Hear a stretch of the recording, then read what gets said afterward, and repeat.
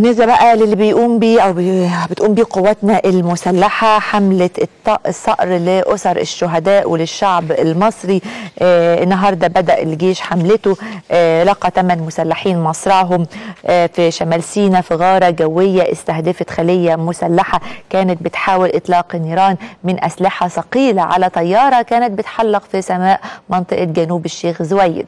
غير كده كمان تم ضبط 11 من العناصر الإرهابية واتعاملت الطيارة طبعا مع الموقف ومع المسلحين ودهمت موقع اختبائهم في منزل في جنوب مدينة الشيخ زويد وقامت بقصفه وده اللي أدى لقتل الثمانية دول. والمصادر الأمنية أكدت كمان أن القوات دلوقتي بتقوم بحملات تمشيط برية نوعية.